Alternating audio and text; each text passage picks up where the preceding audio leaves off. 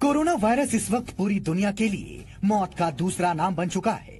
चीन में मौत का आंकड़ा 500 को छूने वाला है। तो चीन से बाहर भी अब कोरोना से होने वाली मौतों की खबरें आने लगी हैं। चीन से लौटकर दिल्ली में छावला के आईटीबीपी कैंप में रह रहे 406 भारतीयों में से पाँच को दिल्ली के सफदरजंग अस्पताल में भर्ती कराया गया है।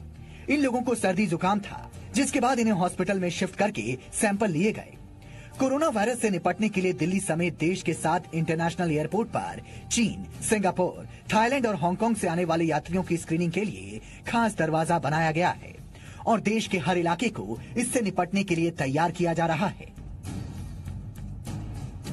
कोरोना वायरस से बचाव के लिए एहतियात के तौर पर 15 जनवरी के बाद चीन से भारत आए लोगों की काउंसलिंग की जाएगी। यदि किसी व्यक्ति में वायरस के लक्षण पाए जाते हैं तो उन्हें आइसोलेशन वार्ड में रखा जाएगा। वायरस के प्रति आम जनता में काफ़ी भ्रांतियाँ हैं, जिन्हें दूर करने की ज़रूरत है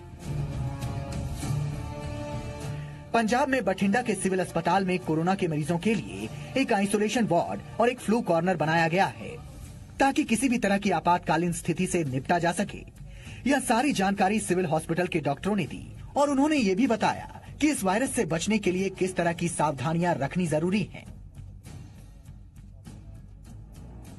सरकार के दिशा निर्देश के अनुसार और राज्य सरकार के दिशा निर्देश के अनुसार हमने काउंसलिंग सेंटर जो है, वो मैकलोडगंज बीएससी को डेजिग्नेट किया हुआ है। साथ में टांडा अस्पताल को निर्देश दिए गए कि वहाँ एक आइसोलेशन वार्ड रखा जाए। इसमें हम जितने भी होटल्स हैं मैकलोडगंज इलाके में और बीट ज़िले में और जो होम स्टेज हैं, वहाँ पे एक सेल्फ डिक्लेरेशन फॉर्म जो है वो भिजवा रहे हैं।